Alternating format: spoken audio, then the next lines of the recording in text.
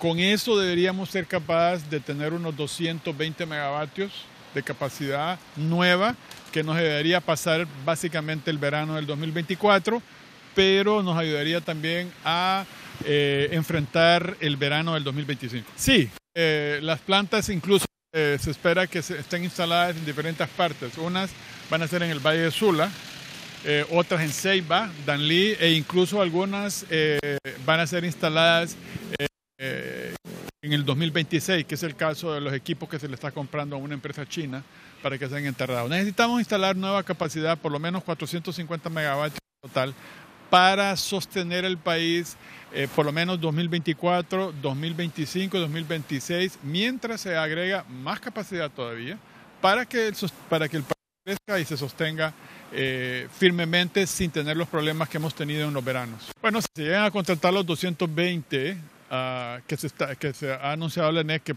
que, probablemente van a entrar en operación, no debería haber problemas de racionamiento a menos que tengamos un verano excesivamente caliente como tuvimos el año pasado.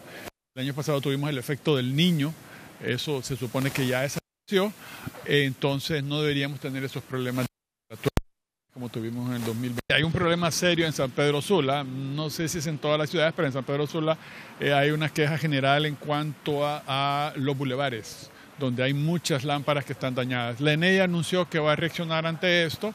Obviamente esto requiere una inversión fuerte, compra de lámparas. Eh, yo calculo que en San Pedro Sula bien se, necesita unas 3.000 lámparas no solo para atender los bulevares, sino que estamos hablando de todos los barrios adyacentes donde ya ha habido quejas de que no hay iluminación.